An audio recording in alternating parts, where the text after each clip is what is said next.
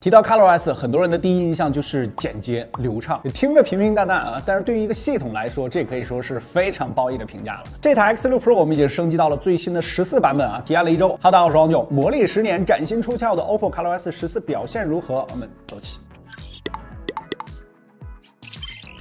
智能机刚兴起的时候，大部分用户基本的要求就是不卡啊，不卡就是好手机啊。ColorOS 也在这时候诞生，并定下了系统基调啊。简单说，快就完事儿了。不过随着手机性能硬件的进化，单纯的快肯定已经不是一件难事儿了啊。OPPO 的哪代系统你印象最深刻？可以把这个数字打出来啊。我们之前去过 OPPO 的实验室实地探访过啊。这流畅呢，可以简单的拆分为底层流畅、UI 流畅与体验流畅啊。比如说 ColorOS 七的量子动画引擎，十一的防卡顿引擎，十三的超算平台，都是在快这个基础上添砖加瓦，是对底层系统的。优化和视觉动画的设计，你想要再好的体验，那就得需要在细节和功能上更进一步了。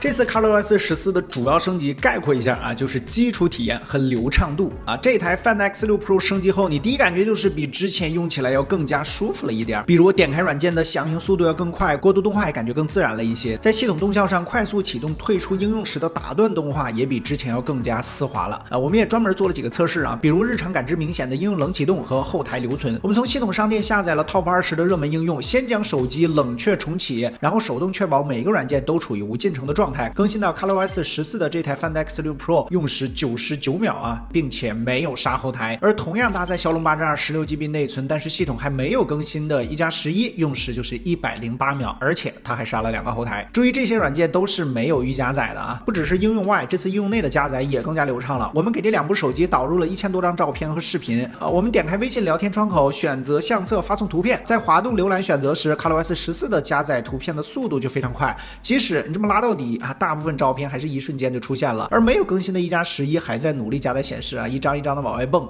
应用内外这次都更加流畅啊，这个体验进步还是十分明显的。系统 UI 上面变了，又好像没变，把“如变”两个字给打在公屏上啊。ColorOS 十四依旧延续了十三的水声设计，只是在一些细节上做了调整，比如在系统设置里就加上了更加清晰的分界线。在交互逻辑上，这次发生了一些有趣的变化。OPPO 在上一代泛在应用的基础之上啊，新加入了流体云，呃，可以根据不同服务的重要程度实现更清晰的展示。比如闹钟和录音这一类的系统实时 App，你一点击开始之后，它就会在状态栏上变成一个灵动胶囊。长按的话就会打开这个面板，在不影响你当前页面操作的前提下，就可以直接暂停或者结束，免得你还要不停的切换应用啊。不止于此，这个流体云还可以智能识别你复制的信息。比如说最近双十一啊，这很多小伙伴估计买了不少东西啊，发现了优惠的价格，也少不了分享给身边的好友。以往实现这个步骤，你得来回跳转，先打开某宝，再回到微信复制链接，再切回某宝才能保证识别。成功。现在你注意看，只需要在看见这条链接的同时，直接复制啊，流体云就会弹出对应 app 详细商品的跳转窗口啊，五个字，一步到位。其他的，例如复制快递单号直接跳转查询啊，这个复制地址跳转导航，复制航班火车号直接跳出车次信息啊，甚至无时无刻直接复制翻译啊。如果你习惯了，这效率提升还是挺明显的，心情都感觉舒畅了不少。这次不少新功能让 ColorOS 十四感觉变得更加工具化了，比如任意采集和闪速抠图啊，你通过侧面栏的小步视频可以提取当前页面内的文字和图片，然后存放在中转站随取随用。其实大家也都明白啊，确实好用的功能，这 OS 之间大家相互借鉴，也是支持各家厂商都。跟进优化的，遥遥领先。闪速抠图，你可以把相册照片里面的人或者宠物给抠出来啊，导入微信，直接就是表情包了啊，独家制作。救命！之前我们在 Find N3 上体验过的文件随心开，打通了安卓、iOS、Windows 间的文件壁垒。现在你只要更新到 ColorOS 十四，也可以使用了。工作室内全部使用 Mac 办公啊，但我们很多小伙伴使用的都是安卓手机啊，经常会收到一些不兼容的文件。现在如果使用 OPPO 手机，就可以直接打开苹果的 Pages 文件了，跨平台大工人福音。ColorOS 十四新增了风 Link 入口，无需下载应用，可以直接连接 Windows 电脑，在电脑上面收发短信、打电话、传输文件，还可以通过随心工作台在不同设备上查看同一 o 破账号下的文档。这几个功能如果配合起来使用，移动办公的体验确实更加高效了。不过，不过，不过啊，体验之中呢，自然也碰到了一些小问题，比如说这个横屏下的控制中心，呃，感觉依旧不是很好用啊，强烈建议 OPPO 早日更改，并且可能是处于工作版的原因，我们还碰到了一些奇怪的小 bug，比如说负一屏啊，通过一些操作它就会自己卡回系统主界面啊，我们也都将其反馈给了 OPPO 的工程师，估计你升好的时候应该已经排掉了。